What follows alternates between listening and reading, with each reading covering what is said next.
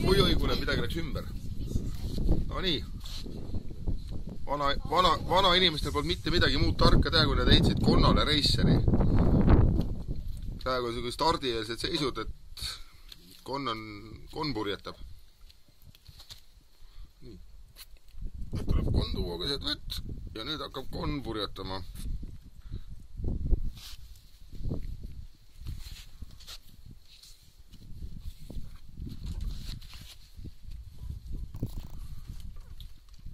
tegemist on küll järve purjetamise lühirajaga, aga no midagi pole teha. õues on umbes kakskümmend üheksa kraadi sooja, nii et, et täitsa kaine peaga tuleb, vanainimestel tuleb mõte, et teeks konnale purjeka. noh, konn, räägi ka midagi.